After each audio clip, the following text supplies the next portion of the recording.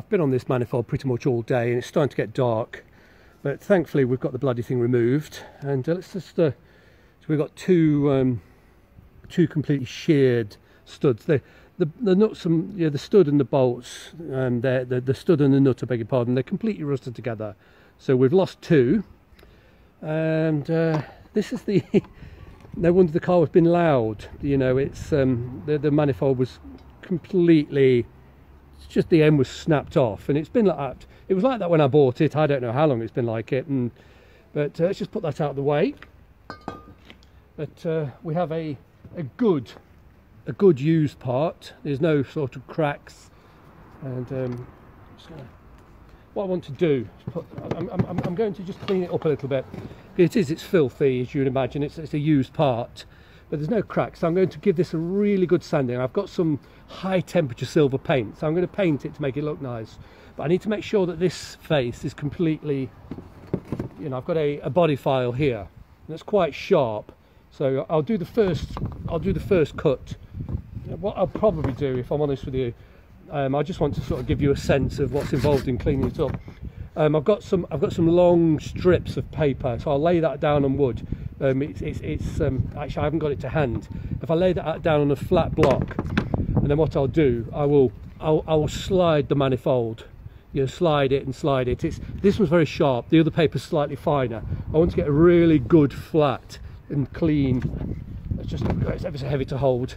So um, just rest that down there. See is, is, it seen on the camera? Just about. And um, just to give you a sense this is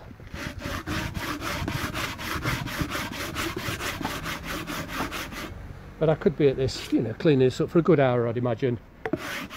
But like I said this is a body file. It, it you know it's very flat. And um,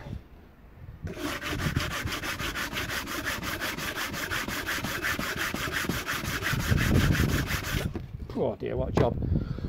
So I'll keep standing at that until it comes up completely the whole lot will be completely shiny. I won't leave any pitting. You know, there's quite a lot of pitting there do you know actually this might this one might prove to be enough. Um, it is sharp but we are it is cast iron so um, if I just try to just try to mount this it'll almost definitely leak. It's, it's it is quite pitted. Now I'm going to do it by hand. I'm not going to do it with a machine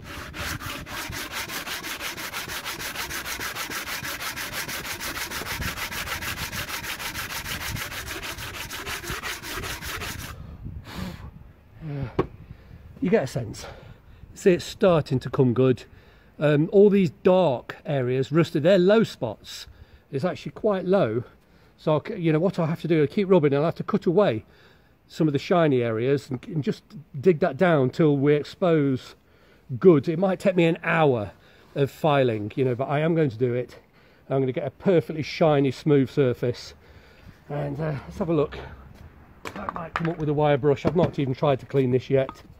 Let's have a look. We'll just give it a I need to get all the loose. Absolutely showering the car and all this shit. Bloody hell. Not the best idea this is it.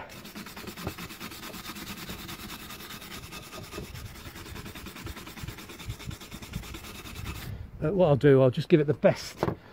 That's not bad actually. Just a quick rub and it gets the worst of it off. But I'll probably spend about an hour and get this completely clean of any old dust and rust. And I'm going to do it away from the car. Look what I've done.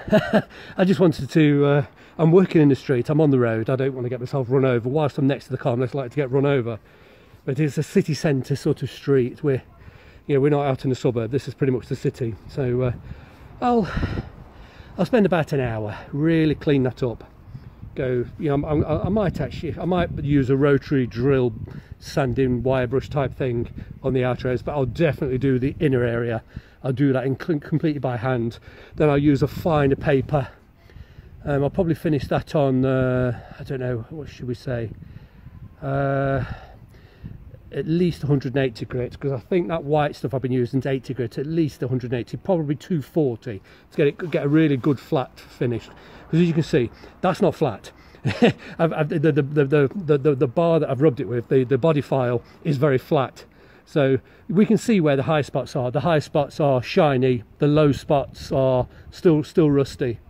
So I need to keep going until that's completely you know, it could be machines, but I haven't got access to machines. And now that the car's off the road, I can't, I, I don't fancy walking somewhere or cycling somewhere with this bloody thing. But we'll get there. I'll clean it up.